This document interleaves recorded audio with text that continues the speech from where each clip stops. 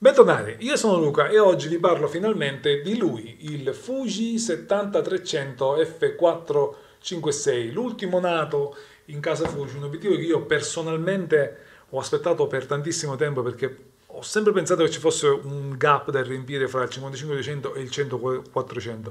un obiettivo che potesse avere una maggiore lunghezza focale rispetto al 55-200 senza necessariamente spingersi a dimensioni, peso e e, e, costi del 100-400 che è un obiettivo spettacolare ma diciamo è fuori da queste considerazioni. Eh, quindi per me eh, lo aspettavo da, da, tanto l'ho preso il primo giorno come ho fatto con 1680 perché come, per quel, come in quel caso ero sicuro che l'avrei tenuto eh, anche in questo caso sono abbastanza certo che eh, questo obiettivo mi farà compagnia per tantissimo tempo. Ora prima di parlare delle mie impressioni due eh,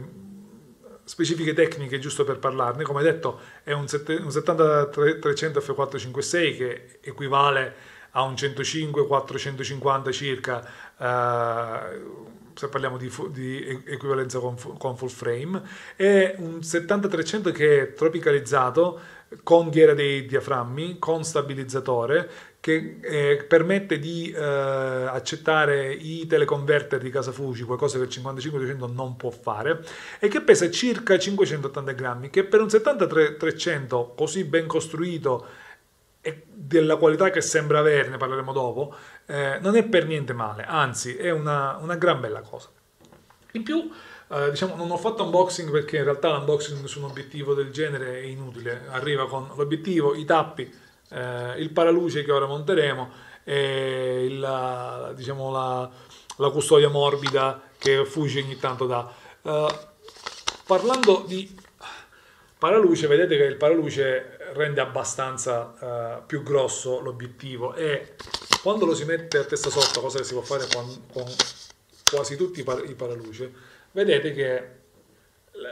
il grip per la, spero che si veda, il grip per prendere la zoomata è piuttosto limitato. Ora per me non è un gran problema, io non uso tanto i paraluce, quindi eh, mi limita relativamente, però per qualcuno potrebbe essere un problema. Io lo, lo lascio a casa, l'ho tirato fuori dalla plastica solo per fare questo video, dop- dopodiché tornerà eh,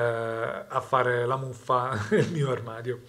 Detto questo, sempre parlando di costruzioni, ci sono un paio di cose interessanti che Fuji ha fatto con questo obiettivo. Ha fatto sempre la solita idiozia che continuo a ripetere che è un'idiozia di rimuovere lo switch manuale per disabilitare lo stabilizzatore. Lo so, stabilizzatore intelligente, riconosce quando è sul cavalletto, bla bla bla bla bla bla bla bla, lo sappiamo tutti. Per me io voglio comunque avere la possibilità di farlo con un tasto e quindi quello che mi succede è che devo uh, aggiungere, uh, devo dedicare un tasto della macchina fotografica all'ingresso del menu per la stabilizzazione. Cosa che su una macchina come la XT4, XT3, XH1 eccetera eccetera che sono pieni di pulsanti non è un gran problema ma con la XE4 comincia a diventare un problema perché i tasti ce n'è veramente pochini. Comunque sia è una scelta di Fuji credo che questa sia la, dire- la, direzione per il futuro. Non mi piace tanto ma non è certo questo che mi ferma da comprare lo- l'obiettivo. Invece parlando di cose interessanti hanno aggiunto vedete questo tastino qui con la scritta lock con l'arancione eh, è un blocco che permette di evitare che l'obiettivo, shakerandolo, si allunghi, cosa che invece mi succedeva col 55-200. E cosa ancora più intelligente è che non, non, dovete pensare a sbloccarlo per cominciare a utilizzarlo, perché basta girare, ruotare la ghiera dello zoom, si sente un click, sentito? E lo zoom si muove. Tra l'altro, come vedete, si allunga abbastanza, eh, ma è qualcosa da, eh, da aspettarsi, insomma una zoomata interna su un 70-300 di queste dimensioni sarebbe un sogno, un miracolo, ecco.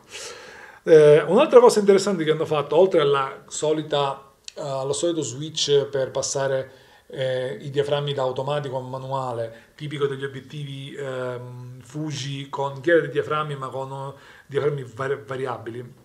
quindi non con eh, le scrittine sul barilotto, eh, hanno anche aggiunto, ed è molto più importante questo, un limitatore della messa a fuoco a due posizioni, che permette di fare o l'intero range di eh, focali, e lo state vedendo in questo momento, eh, le capacità macro di questo obiettivo sono interessantissime perché mette a fuoco 80 cm come distanza di messa a fuoco minima e a 300 mm questo significa ingrandire tanto eh, il, il, soggetto Eh, oppure si può andare a limitare soltanto da 5 metri a infinito, il che permette di velocizzare tanto se si sa già che si sta mettendo a fuoco qualcosa di distante, permette di velocizzare tanto la messa a fuoco. Anche se devo dire, e sono stracontento di questo, che dalle primissime impressioni sia su XT4 che su X4 che su XT3,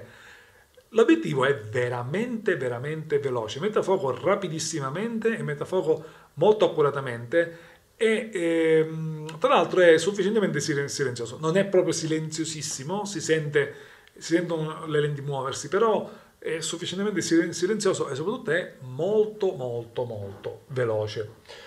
Ora, un obiettivo del genere viene normalmente paragonato al 55-200, ma tanti si chiederanno il perché, chi sentiva la necessità del 70-300 quando c'era il 55-200. Bene, i due obiettivi li vedete qui. Dal punto di vista dimensionale, come vedete sono praticamente molto simili, c'è un, boh, meno di un centimetro in più forse sul 70-300 in lunghezza, il diametro del filtro è 67 su 70-300 e 62 su 55-200, ma il diametro dell'obiettivo in sé però è uguale, quindi potrebbe sembrare più cicciotto, ma in realtà non lo è. Ma cosa ancora più interessante, il peso è uguale, 580 grammi per entrambi. E non dimentichiamoci che il 55-200 mette a fuoco a 1,10 m, quindi è più corto, mette a fuoco più distante, le capacità di ingrandimento col 55-200 non sono minimamente paragonabili a quelle del 70-300. Ora mi direte sì, ma il 55-200 è un 3548, mentre il 70-300 è un F456. Vero, avete ragione voi, ma a 200 mm il 70-300 sostanzialmente è F5 il che significa che non c'è in realtà una differenza di luminosità fra i due obiettivi, perché fra 4,8 e, eh, e 5 eh, a 200 mm la differenza è praticamente meno di un terzo di stop, il che significa che sostanzialmente l'esposizione vi verrà uguale, le problematiche saranno condivise, eccetera, eccetera, eccetera. In più, il 55-200 eh, dai 150 mm in su, pur essendo un obiettivo che io ho amato e straconsigliato a tutti quanti, l'ho considerato sempre un ottimo obiettivo per il prezzo, per la dimensione e per il peso. Però dai 150 mm in su aveva un leggero decadimento sulla nitidezza eh, che veniva un po' re- re- recuperato diaframmando, ma non del tutto. Il 70% dalle primissime eh, prove che io ho fatto, state vedendo adesso una foto che non è un granché, però ingrandita vi mostra come anche a 300 mm, anche con soggetto distante, ehm, lo, il soggetto resta molto nitido. Bene, dicevo, il 700-300 sembra reggere le lunghe distanze in maniera migliore rispetto al, al 55-200, quindi la motivazione per un obiettivo del genere di esistere c'è, al di là della tropicalizzazione ovviamente che è comoda. Eh, però voglio dire, eh, non, non, non, è un'inutile aggiunta un, uh, al corredo Fujifilm. Ecco, per me è un obiettivo che ha un senso. Ecco. Per me, per esempio, che mi voglio ogni tanto dedicare a qualcosa di avifauna, ma non voglio spendere, portarmi dietro il 100-400 perché lo userei troppo poco per giustificare quella spesa. Questo obiettivo ha tantissimo senso. Tra l'altro mi piacerebbe pure provarlo con i eh, moltiplicatori di fo- focale, perché è chiaro che eh, diventerebbe un 420 mm f8 eh, con l'1.4 e un 600 mm f11 col 2x, quindi sì, si perde la luminosità, ma sarei curioso di provare l'autofocus e la resa dell'obiettivo con i moltiplicatori per vedere se è una, un'opzione comunque fattibile, tenendo conto delle limitazioni dovute appunto alla perdita di eh, luminosità. Altra cosa che eh, c'è da notare su questo obiettivo, su 73-300, come tutti gli obiettivi moderni di Fuji, eh, purtroppo non è un par focale, è un barifocale, è eh, come, come, se, come 1680, come tanti altri obiettivi, eh, zoomando si perde la messa a fuoco. Ed essendo un obiettivo un teleobiettivo, questo salto è molto più visibile rispetto ad un grandangolo, il che lo rende particolarmente fastidioso. Diventa inutilizzabile come zoom durante i video per ovvi mo- motivi, diventa proprio inutilizzabile. Eh, mentre con le foto ogni tanto si rischia di perdere il soggetto perché si passa da, una, da un soggetto a fuoco a un soggetto completamente fuori fuoco ed è fastidioso.